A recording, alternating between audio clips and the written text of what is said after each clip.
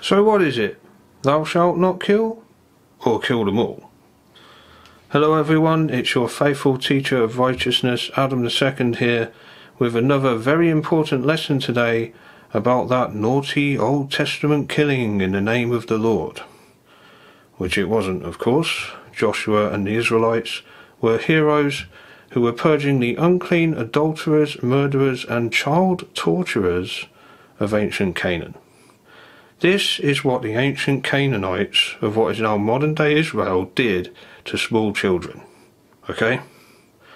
Thou shalt not kill or kill them all? As some kid attending my Bible college once argumentatively asked, and was most likely repeating from some other ignoramus. Wrong question. Rather, if you do kill and torture and commit the worst sins which God has commanded you not to, as well as other unthinkable ones like this, prepare to be punished in kind, most expediently and with total efficiency, which is more than you deserve. And anyone who is going to persistently ignore the defining reason for this, which is clear and repeated, then please at least stop asking these obnoxious, smart aleck questions without checking the scripture or historical facts. The just reason for God's wrath enacted by Joshua's army is clearly expressed by God and many of the Old Testament prophets well in advance, all the way back to the days of Abraham and Lot. Remember how Abraham couldn't find ten righteous men in the whole city of Sodom? Remember what the Sodomites tried to do to the angels God sent to the city. And this was just the beginning. What of their other most unholy acts? Well, let's go through them now. You've already seen one of the worst in the thumbnail for this video. Yes, the Canaanites were sacrificing children including newborn babies, to Baal, Molech, and other false gods. So, as you can see, when God tested Abraham's devotion, but then mercifully intervened and prevented him from sacrificing his son, this is because Abraham was living amongst pagans who were sacrificing theirs to false gods. Genesis 22 doesn't sound so bad in comparison now, does it? No, what God did with Abraham when in context with what the Canaanites were doing was very merciful, and also a test to see if Abraham was as devoted to the Lord as the other pagans were to their false gods. These lands were festering with so much sin that even the Israelites whom God released from Egyptian serfdom turned to false god worship of the golden calf and were not worthy of their own kingdom for another generation.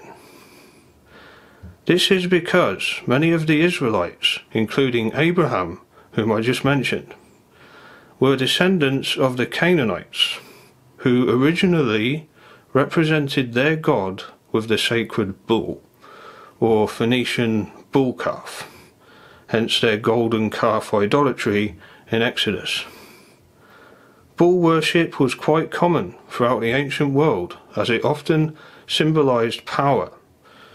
For the Canaanites, it represented the storm god Hadad, or Teshub to the Hittites, who were descendants of Noah in modern day Turkey, Syria, Lebanon, and Cyprus.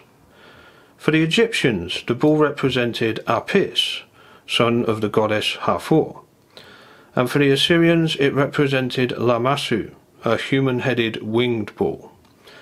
And to this day, the sacred bull is still worshipped in India. Idolatry and false god worship was prevalent in ancient Canaan, and the people of Sodom, where we get the word sodomy today, were annihilated not primarily for their sin of sodomy, but rather what it represented. It was deliberate defiance and pride, as I mentioned in previous videos.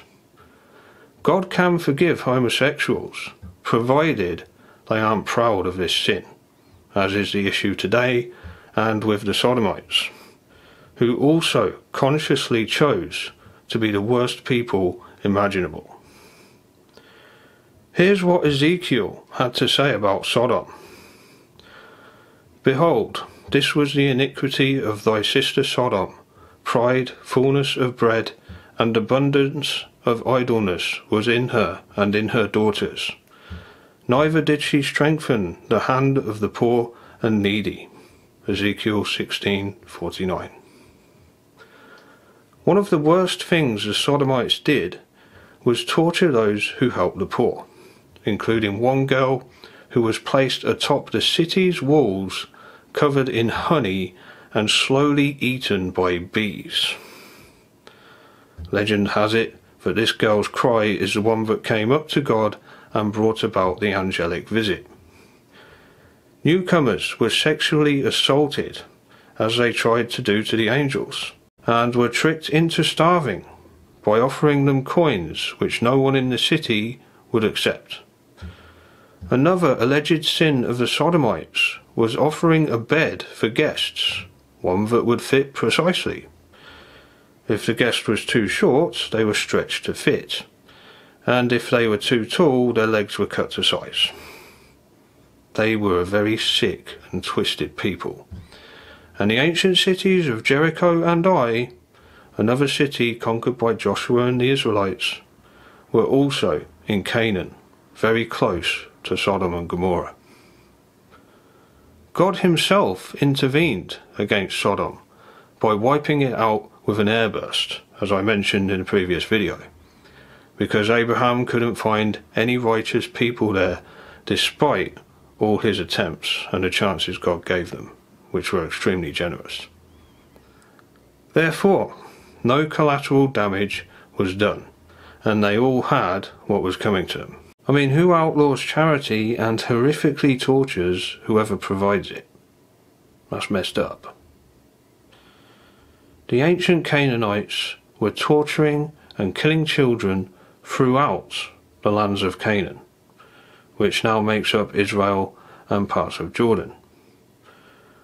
God wasn't accommodating for the Israelites by getting them to attack random civilians in these cities as the ignoramuses who cried genocide argue. These evil pagans were righteously killed, and it's important to remember that. Joshua was a hero fighting crime. Additionally, it has been archaeologically proven that the Israelites obediently left the spoils of these unclean evildoers as was commanded them by God namely the grain, which was a very valuable commodity back then. The Israelites were civilized and were a godsend. The Canaanites weren't, and their demise was one of the best things that had happened since the grandsons of Noah. You question the Old Testament battles and call it genocide, but you don't relate it to the period. It was a cleansing, a good fight, as is also mentioned but has been heretically ignored by those who, in doing so, are instead promoting torture. No ifs and buts. If you're going to intentionally, inaccurately reference these Old Testament battles, then that's the side you have chosen. You would rather the Canaanites continue to do this, and if that's the case, then you're just as sick as they are and need help. Get it right before you start your fight. If you're complaining that it's genocide, then you're number one, accepting the biblical narrative, which is how we know these battles took place.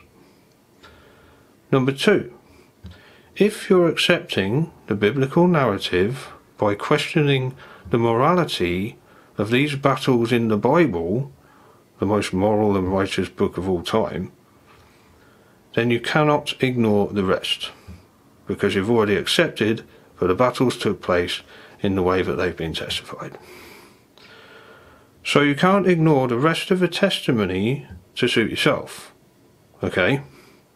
You've just falsified what you're trying to use as evidence against. You morons. This one's right up there with the atheists who keep complaining about a God they don't believe in. If you don't believe in God, then why do you keep complaining about him? If you don't believe in the testimonies, then why have you just tried to misrepresent them? Don't expect to use the good book in your defence if you don't believe in it, or will invalidate your own defence by nitpicking. And not only putting it out of context, but deliberately omitting, which is deceptive and the work of Satan. There is an agenda there, and you would be laughed at in a court of law. You wouldn't even be allowed to present your argument before the judge. It would be dismissed before you even said anything because you are misrepresenting your source. Furthermore, you would most likely be disbarred as a lawyer. That's how serious it is. It's fraudulent, it's done with intent, it's been falsified. IPC section 193, punishment for presenting false evidence. So, I'll say it once again to all those obnoxious ignoramuses and deceivers who are still repeating this thou shalt not kill or kill them all rhetorical fallacy, get it right before you start your fight. And if you already know the reasons why, as I'm sure many of you do, then it is you who aren't fighting the good fight.